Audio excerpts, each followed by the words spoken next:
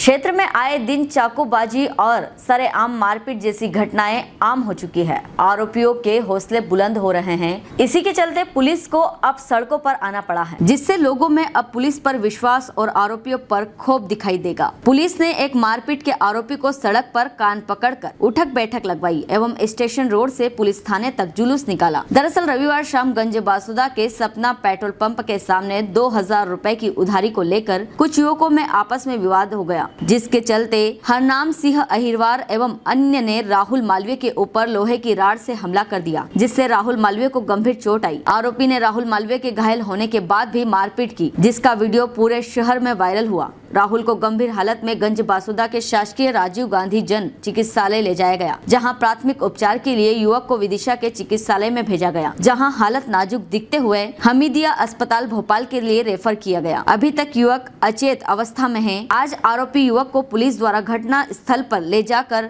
जनता के बीच में कान पकड़कर उठक बैठक लगवाई। विदिशा से आशीष सहले की रिपोर्ट। विवाद के दौरान एक हरनाम सिंह अहिरवार नाम के व्यक्ति ने राहुल मालवीय को सिर में गंभीर चोट पहुंचाई लोहे की राड से, जिससे वो अचेत हो गया और दुर्भाग्य से वो अभी तक अचेत है और हालाँकि उसको भोपाल में हमीदिया अस्पताल में भर्ती कराया गया है और अभी वो उसकी हालत में धीरे धीरे सुधार हो रहा है। उसके परिजन उसके साथ में, उसके एमआरआई वगैरह के सभी टेस्ट तो ठीक ठाक आए हैं, लेकिन वो अचेत है, संभवतः उसके किसी ऐसे न्यूरोलॉजिकल कोई प्रॉब्लम हुई है जिसकी वजह से वो अभी पूर्ण स्वस्थ नहीं हो पाया है। तो इसमें मैं आपको बताना चाहूँगा कि इसमें चूँकि आर्म्स एक्ट जैसी स्थिति तो नहीं है लेकिन गंभीर और कह रहे घातक हथियार का प्रयोग किया गया है और इसमें हमने धारा 307 के तहत ही अपराध पंजीबद्ध किया है।